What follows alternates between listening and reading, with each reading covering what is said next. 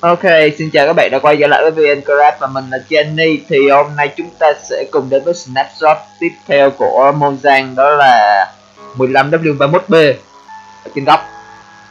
Thì ờ, uh, snapshot tiếp theo là update một số cái uh, cách ép đồ. Đây là cách ép uh, Spectre Arrow Spectre hay Spectre ấy nhỉ? Uh, rồi, đâu rồi? Spectral Arrow, Arrow.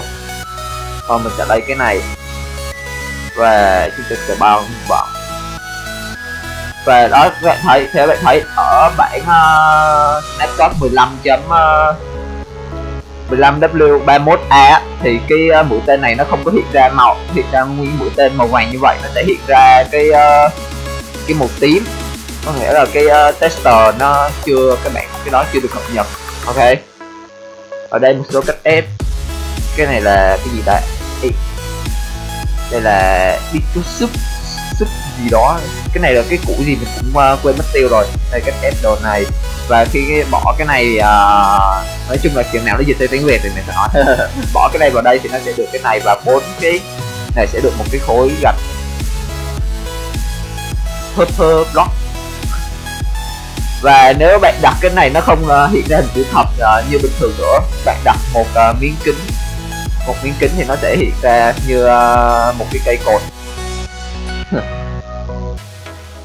Và mình không biết cái bản 1.8 bình thường uh, sao nhưng mà mình thấy đây là mình uh, thấy như thế này này uh, uh, nó sẽ hiện ra như vậy được sẽ hiện ra như vậy luôn đấy.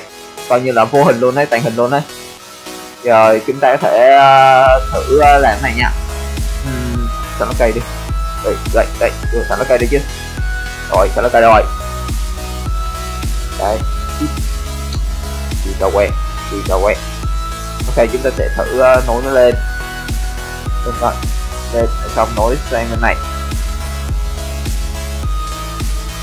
Thì các bạn có thể thấy nó sẽ đổi màu mà không thấy bất cứ một cái gì hết nên uh, rất là tốt và đây là cái ờ, uh, cây nến của chúng ta.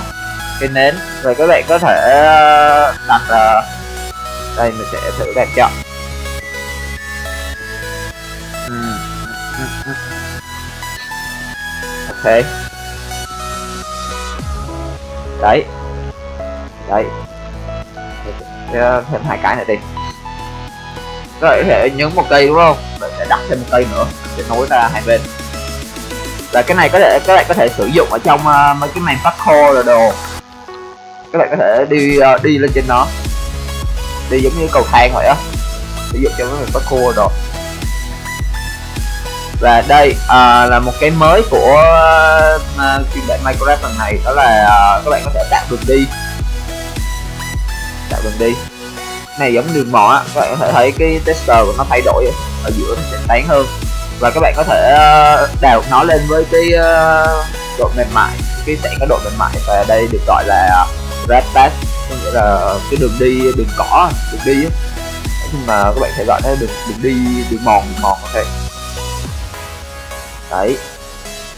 Chỉ đặt nó xuống hệ thấy như thế này. Đấy.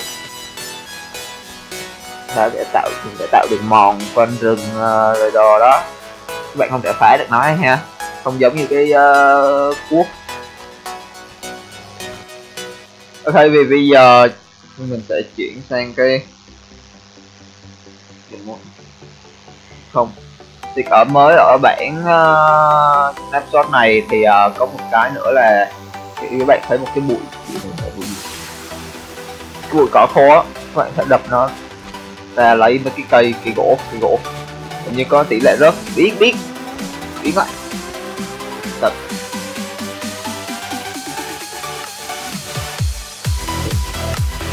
Nó sẽ có cái tỷ lệ uh, tỷ lệ nào đó rớt ra cái cây gậy uh, ok. Đây. Ủa chưa và cái con này đã có cái uh, hiệu ứng cái, cái hiệu ứng hình ảnh uh, là kéo cung. Có chưa? Có chưa ta? Thấy cái cung nó được kéo ờ vợ chết mở rồi.